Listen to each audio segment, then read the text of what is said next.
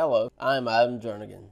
Today we'll be exploring creativity apps. These are apps that can be used to explore student learning and to and to make visible artifacts of what students have learned and how they have learned it. Before we get started, don't forget to subscribe and hit that bell to enable notifications for our channel by clicking our logo during the video.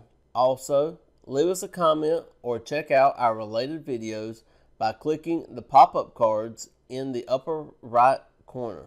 Here's how to get started with making learning visible using creativity apps. apps. Welcome to another episode from Team Knappich and Jernigan. I'm Adam Jernigan, partnered with Aaron Knappich, and today we're going to explore making learning visible with creativity apps. Essentially, we're going to be focusing on Lucidchart, Piktochart, and Canva.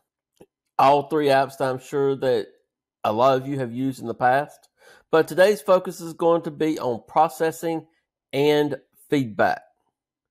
We want to give teachers an opportunity to better understand the process that students are using for learning, the connections that they're being made, how how are those connections being formed, to give teachers a, a more in-depth look at how students are learning. So just a brief overview of our three apps. We have Lucidchart. Lucidchart is a graphic organizer made digital to allow students to make digital graphic organizers to truly show the connections of how they're learning orders and processes. The next two are Piktochart and Canva. Both of these are a lot a lot more highly creative and students can can still show their connections but also get to express their creativity to its fullest. We all know that students come in a wide range of uh, creativity asset creativity assets and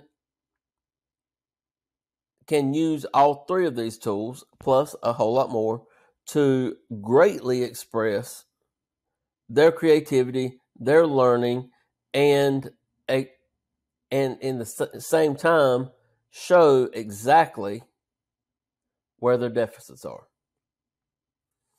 So for us, we believe that Canva and Piktochart are going to be your more mid to high level creativity apps, and your Lucidchart is going to be your low creativity app. In order to make this work, there's one other thing that every teacher needs to create, and that is a rubric template.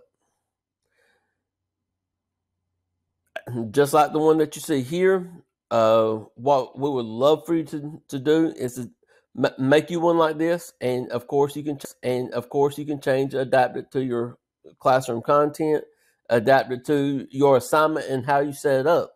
But we do feel that it's imperative that there be a student narrative because when it comes to graphics, just because it it is what the student has learned, a visual of, of how they see things in their head, it doesn't necessarily mean that someone else looking at it will obviously understand exactly what the student is trying to describe. It would, I could liken it to artwork.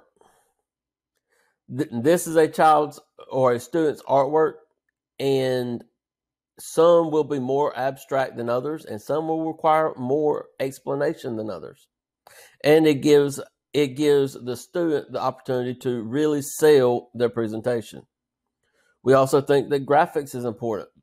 When it comes comes to when it comes comes to the graphics of a, a diagram it needs to be readable. The graphics should be appropriate the colors should work well together and the fonts should be legible. And then, just like any other assignment, teamwork is always optional. And it is up to the teacher to describe what that teamwork is going to look like and what the and how the content should be shown. And what I mean by that is as far as how much content is required in this graphic organizer or in this uh, picture. So for us, it is very important that again, students get the opportunity to pick their app and pick exactly how they want to demonstrate their learning.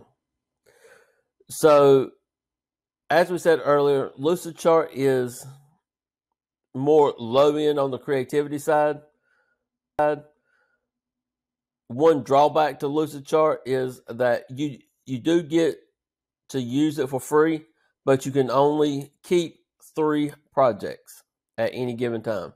There is a maximum on, storage, and you can only have three available at any given time. Piktochart has a similar drawback.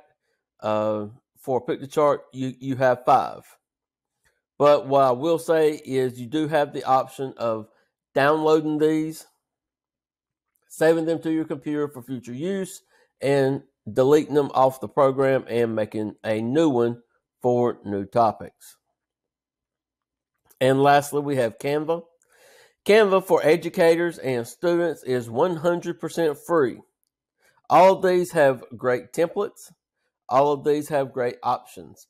At the end of the day, it really comes down to which one is down to which one is the best fit for you, for your students, mainly focusing on your students, giving them the option to work with what they're comfortable with, uh, giving them the option to expand their their knowledge of different apps, and giving them the option to truly display their level of creativity and their connections to their learning.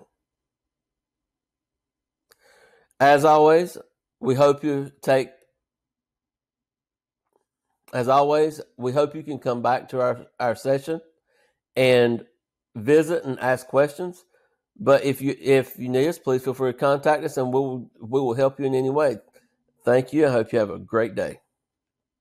Thanks so much for watching. Be sure to like, comment, or reply to one of our other videos, or share the playlist below. Subscribe to our channel and enable notifications so that you don't miss out on the next episode. Don't forget to check out our other resources like Discast Podcast and see what else is going on in Horry County Schools. Be sure to follow at Dear DISes on social media or contact us via email or our blog.